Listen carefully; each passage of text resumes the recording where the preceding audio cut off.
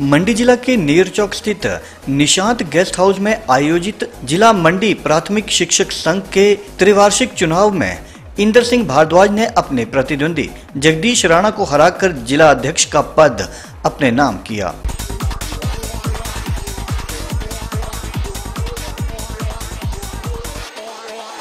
चुनाव परिणाम घोषित होने के उपरांत इंदर सिंह भारद्वाज ने कार्यकारिणी के सदस्यों के साथ शपथ भी ग्रहण की। और संघ के लिए पूरी ईमानदारी व निष्ठा से काम करने का संघ के सदस्यों को भरोसा भी दिलवाया।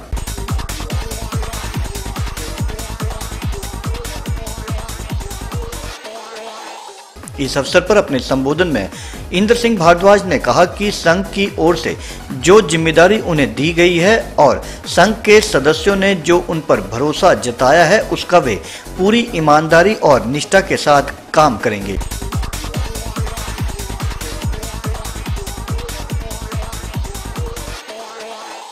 उन्होंने कहा कि कर्मचारियों की समस्याओं को लेकर सरकार के समक्ष प्रभावी ढंग से रखा जाएगा और उनका निपटारा करवाने के प्रयास भी किए जाएँगे। इस अवसर पर हेमराज ठाकुर को प्रदेश डेलीगेट के रूप में भी चयनित किया गया। उन्होंने भी सभी सदस्यों का इस दायित्व देने के लिए आभार व्यक्त किया।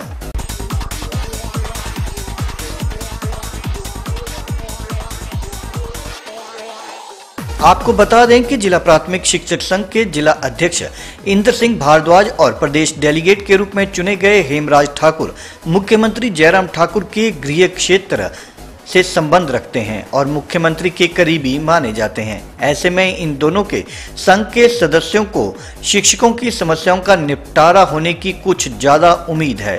इस उम्मीदों पर दोनों ही शिक्षक नेता कितने खरे उतरते हैं, ये तो आने वाला समय ही बताएगा।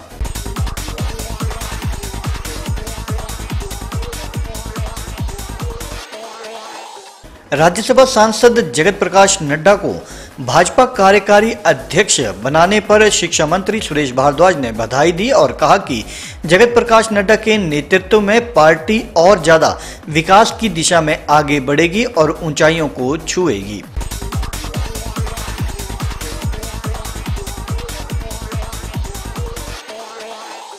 शिक्षा मंत्री सुरेश भारद्वाज ने पालमपुर में पत्रकारों को संबोधित करते हुए कहा कि प्रदेश सरकार स्कूलों में गुणवत्ता युक्त शिक्षा प्रदान करने के लिए प्रतिबद्ध है। इसके लिए हर उचित कदम भी उठाए जा रहे हैं।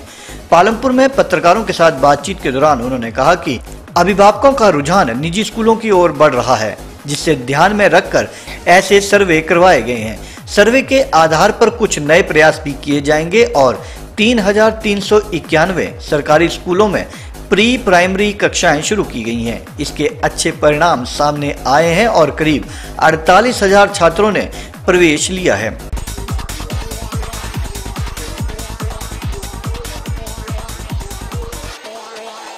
इस साल साढ़े तीन सौ और स्कूलों में प्री प्राइमरी कक्षाएँ शुरू करवाने की अनुमति भी दी गई है।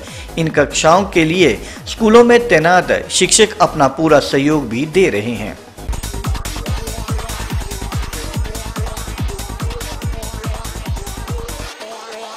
शिक्षा मंत्री सुरेश भारद्वाज ने कहा कि प्रदेश में अटल आदर्श आवासीय स्कूल योजना के तहत गत वर्ष 10 और इस साल 15 स्कूलों की घोषणाएँ की गई हैं।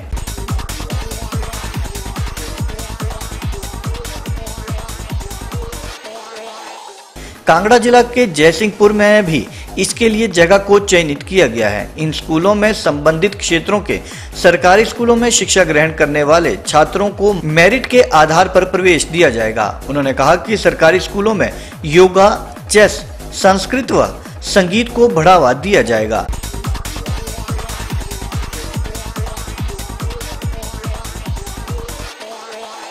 सरकारी स्कूलों में एनसीईआरटी की किताबें पढ़ाई जाएँगी और निजी स्कूलों को भी बोर्ड द्वारा छपाई गई। एनसीईआरटी की किताबें लगाने के लिए प्रोत्साहित किया जाएगा।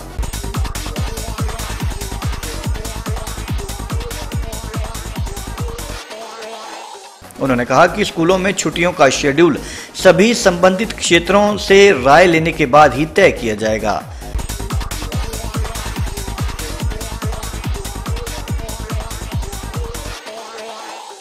शिक्षा मंत्री ने कहा कि स्कूलों के खेल कैलेंडर की समीक्षा की जाएगी। प्रदेश सरकार ने पिछले वर्ष हर स्कूल में 5000 से लेकर 20000 खेलों के लिए दिए थे और इस वर्ष भी दिए जाएँगे।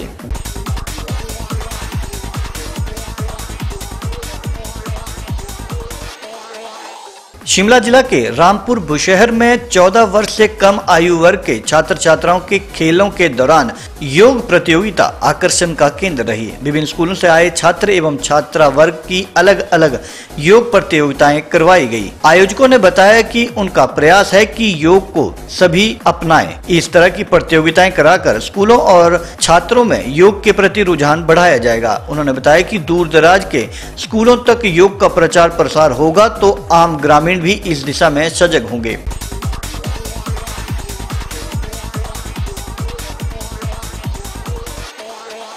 योग शिक्षक रविंदर सिंह ने बताया कि रामपुर में 14 वर्ष से कम आयु वर्ग के छात्र छात्राओं की खंड स्तरीय खेल प्रतियोगिताओं के दौरान योग प्रतियोगिताएँ करवाई गई। उनका मकसद है कि योग को अधिक से अधिक स्कूलों तक पहुंचाना।